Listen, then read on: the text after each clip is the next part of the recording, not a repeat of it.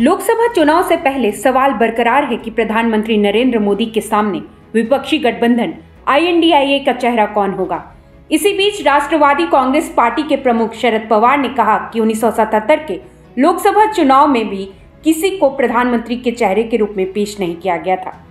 विपक्षी गठबंधन, आईएनडीआईए में शामिल एनसीपी के अध्यक्ष और पूर्व केंद्रीय मंत्री शरद पवार ने कहा कि लोकसभा चुनाव के बाद मुरारजी देसाई को प्रधानमंत्री बनाया गया था। कोई चेहरा सामने नहीं रखने के कोई असर नहीं दिखे। अगर लोग बदलाव के मूड में हैं तो वो बदलाव लाने के लिए निर्णय लेंगे। शरद पवार का नाम भी पीएम चेहरे की रेस में शामिल किया जाता रहा है। हालाँकि वो खुद इससे इनकार करते रहे हैं। आपको बता दें कि इस समय महाराष्ट्र में एनसीपी, कांग्रेस और शिवसेना के उद्धव गुट का गठबंधन है।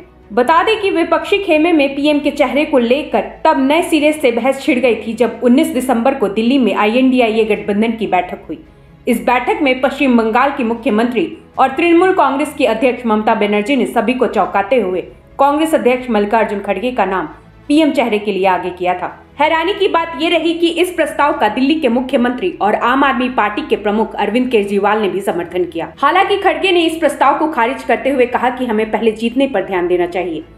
पीएम फेस को लेकर जब ममता बनर्जी से सवाल किया गया तो उन्होंने कहा कि हम जहाँ भी जाते हैं, लोग सवाल पूछते हैं कि आपका चेहरा कौन होगा? मैंने खड़गे का नाम बैठक में आगे रखा था।